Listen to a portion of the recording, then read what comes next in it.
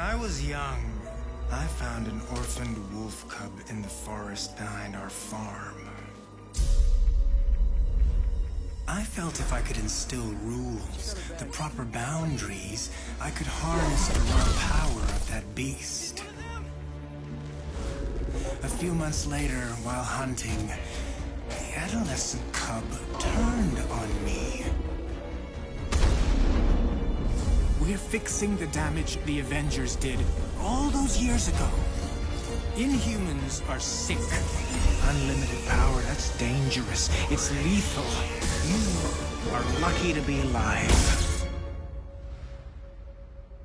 Come on, Kamala. Let AIM help you. I'll take my chances. What if the Avengers were set up? I think you should see for yourself. Mr. Stark help us with this? Hi, I'm sorry. Who are you? Uh, Kamala? This better be good. He totally locked Cap in the reactor room and then he tried to jack the Chimera. Son of a... Have you all completely lost your senses? What? Where were you while the world went to hell? This is our fault. All of ours. You really think the world is better without us? Yes. See, it's always been your problem. Running from who you are, what you are. Exactly what Tarleton wants!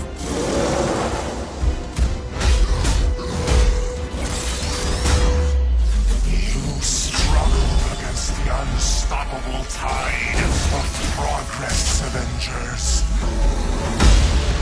Power cannot be controlled. It has to be destroyed.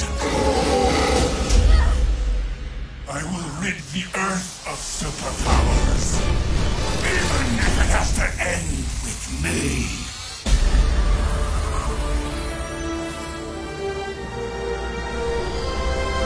It's just got a whole lot weirder.